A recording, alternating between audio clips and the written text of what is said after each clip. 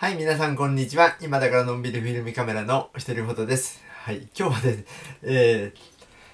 えー前回に引き続いて、ニコン FE ですね。あの私がよく YouTube で押しているカメラなんですけれども、えーこのカメラはね、えー私が、あの、何度もお話ししますけれども、最初に買った、え自分で買ったね、あの、フィルムカメラです。えーまあ簡単に、あの、初めて動画、見、見られる方もいらっしゃると思いますので、えーご紹介すると、えー絞り優先 AE の、やっぱり使いやすいカメラということで、えーもうプロも愛用したと言われる、あの、シンプルな、えーベストセラーですね。本当にね、あの、た、くさん、あの、今、中古市場にもありますけれども、えーこのカメラ、え1978年の発売ですね。で、えー私がね、ちょうど就職した当時、このニコン FE とかニコン、えーこの前の年に1977年かな、ニコン FM が、えー発売になってますけども、それよりもね、あの、ええーと、使いやすいということで、あの、大量に、あの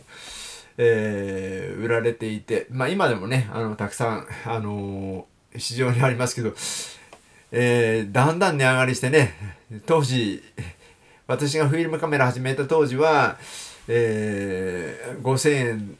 8000円くらいだったのがどんどん値上がりして、今、えっ、と、1万円以上、1万、まあ正義に買うとね、えー1万5000円とか2万円くらい、えーするカメラになってますけれども、あの、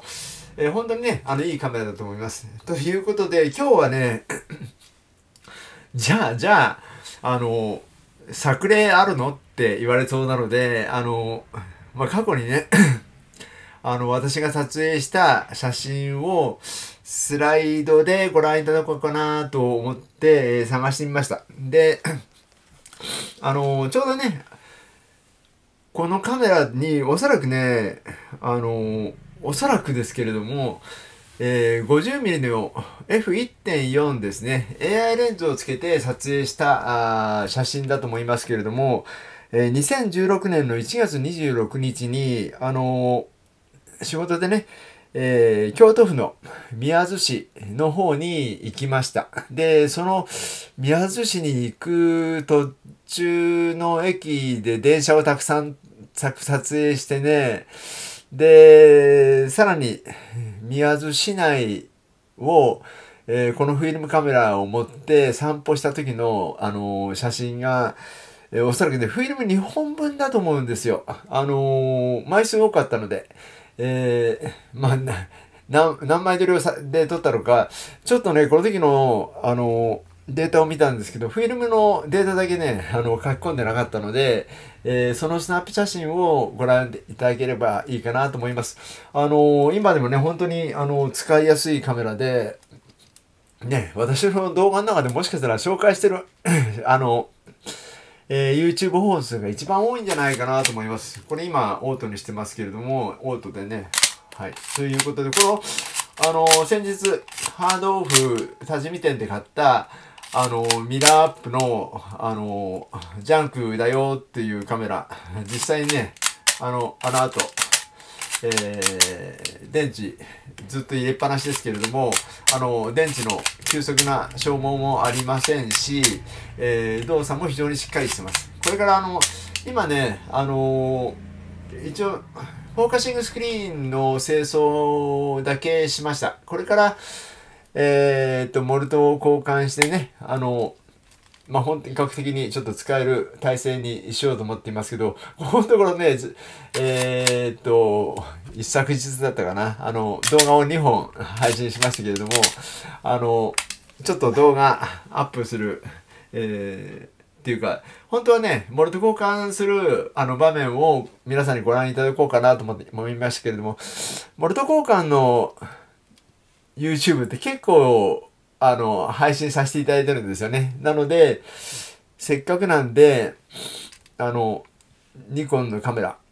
おそらくレンズはね、これ今ついてるのは、え 55mmF2.8 のマクロですけれども、えー当時はほまあ、ほぼほぼ標準の 50mm の F1.4 で撮ってたと思いますので、で、え 50mm の F1.4 だと思います。あのーまあ、フィルムカメラらしい写りをしてるなーって自分でも見ながらね、あの、当時のことを思い出すと、ちょっとな懐かしいな。2016年だから、今から、えー、っと、8年前になるっていうことですよね。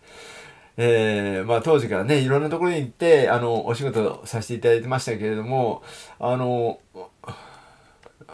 本当に、えー、全国を撮影した写真がたくさんあります。なので、あのー、今でもね、実は、実際ね、あのー、地元で、まあ、ちっちゃな、あのー、場所で、写真展あの、もう一度ね、同じ写真を使って写真展を開くだけの、あの、写真があるのでね、一回、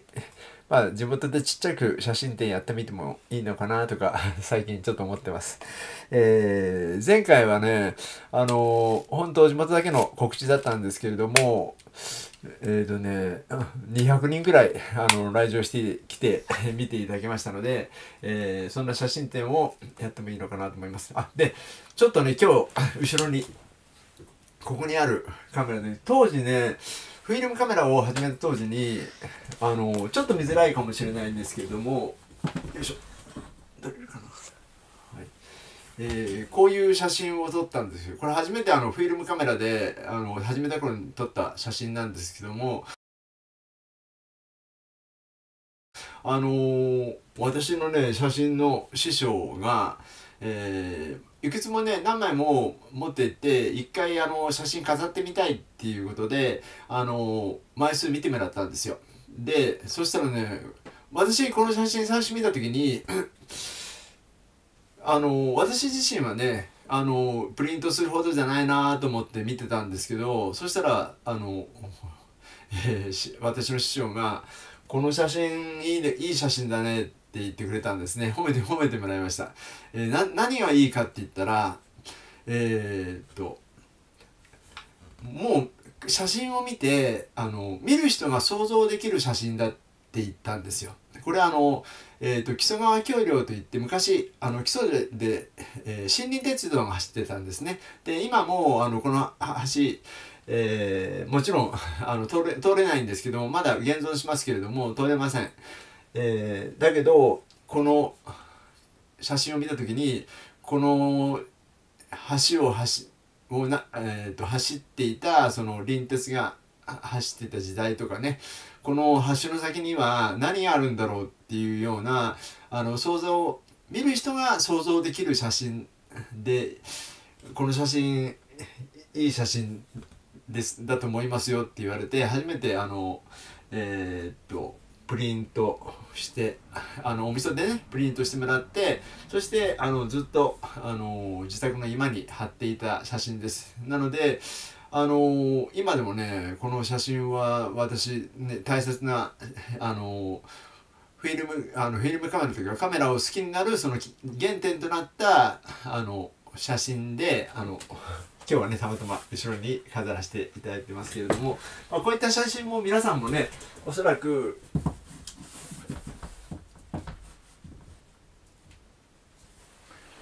皆さんがね、あの、自分で写真が好きになったきっかけになるような写真があると思いますので、そういったあの、えー、情報も あの、教えていただけると嬉しいです。はい。ということで、この後、えー、ニコン FE50mmFE1.4 だと思いますけれども、えー、2016年1月26日、えー、京都府宮津市、えー、で撮影した、えー、スライド動画をご覧ください、えー、皆さんからの温かなコメント並びに高評価もお待ちしています。チャンネル登録もお願いします。はいさよなら。